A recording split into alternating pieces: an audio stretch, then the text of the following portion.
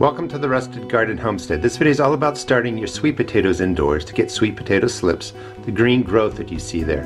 And I've added a heating pad. I will talk about how that makes a huge difference, but I'm going to show you quickly how you can set up sweet potatoes just like this in a foil pan, no holes, just a seed starting mix, and grow your own sweet potato slips.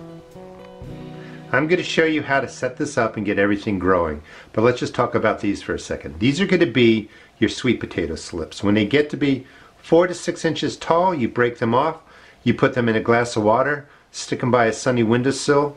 They're going to root out, and that's going to take somewhere between two and three weeks to get a really nice root system established, and then they would go out into the ground.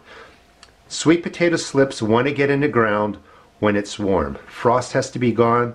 Soil temperature should be, you know, 60 degrees or higher. So there's not a rush for these. However, sweet potatoes can take a long time to sprout. The trick to speed the process up is I like growing them in a seed starting mix like this. And then this year I added a heat mat and it's really sped up the process tremendously. Now, we'll talk about that in more in a second. So it's been four weeks. These went in the beginning of January. Today's the 27th or 28th. If your sweet potato slips on a heat mat planted this way haven't started doing something, you want to check them out. There's probably something wrong. So I can tell that the purple Stokes have all sprouted everywhere. You know, the orange ones aren't. So if I pull this up, what I'm looking for is rooting. There's no rooting. You can see the purple Stokes, if you can, all the roots in there. These are just taking off. This one has some mold growing. It's soft right there, soft there.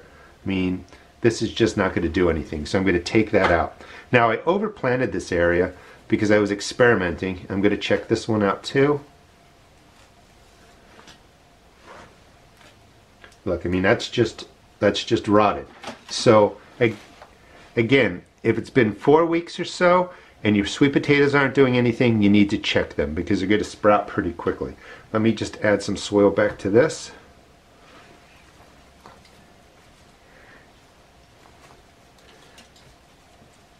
And we'll get to the setup. And these are going to just stay as is. Once they get to this point, you can take them off the heat mat. They've really sprouted, that's what you want, and then you can just let these go. Now you can do this using two pans. You can put some holes in here. I do one, two, three, four, five. And then you put the soil in there, sweet potatoes, and just in case you're worried that you're going to maybe make a mistake and put too much water in here, you could potentially lift this up, let it go into a fill pan. However, it's really hard to mess up your sweet potatoes by adding too much water because one way to start them is actually putting them into a cup of water. So I just say go with just a foil pan just like that. Fill it up with any starting mix. There's no fertilizer in here. The sweet potato is going to live off, well the sweet potato slips, the green growth, are going to live off of the sweet potato itself. You can fertilize a little bit with any water soluble nitrogen fertilizer once they're up and growing, but it's not needed. And that's all you do to set up your planting base. I would just put in one, two, three, not five like I had. So I just went to the store. This is a purple Stokes. I have a bunch of them growing. These are purchased at an organic store. The purple Stokes that you saw growing were not. They were just, I think, purchased at Giant. So we're going to want to clean these. So that's the purple Stokes. This is just, this is called a um, Japanese purple sweet. I don't know if there's another name for it. This is organic too.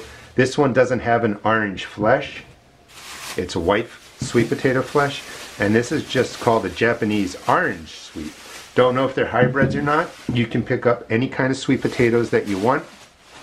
What I recommend is sterilizing them. So let's do the purple Stokes, one of the Japanese orange, and one of the Japanese purple sweet. I recommend trying to get something about this size These seem to work well.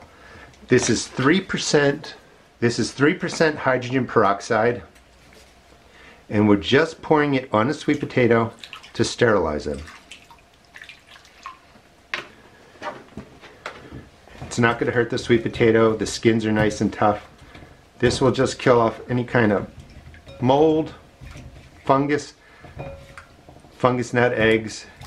And you would just, you know, do that. Let it sit maybe 15 minutes, mix it through again, and you're good to go. So the next step, just get these set up, is to take your sweet potatoes and you're just pushing them in so that they go halfway down. Any side works.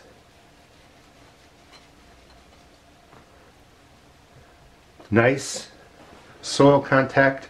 Again, this is a starting mix. I recommend using a sterile starting mix, especially indoors.